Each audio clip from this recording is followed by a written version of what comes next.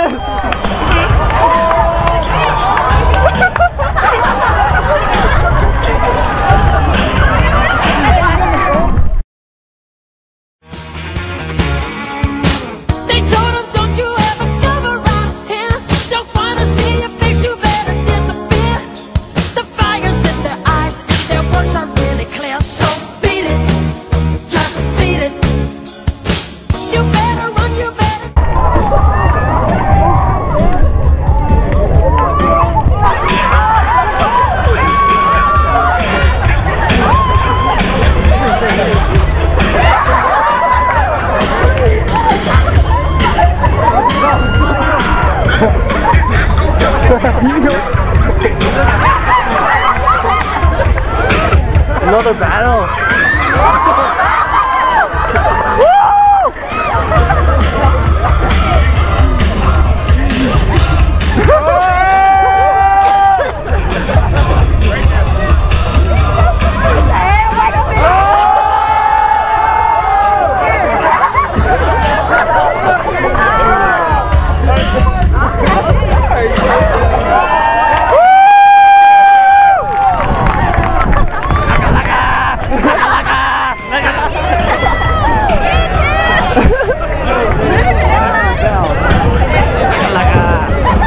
Part two, man. Damn.